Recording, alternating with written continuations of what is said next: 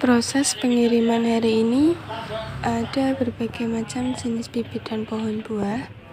Ada bibit nangka madu, ada pohon alpukat alligator tinggi 2 meteran, dan masih banyak lagi jenis bibit tanaman lainnya.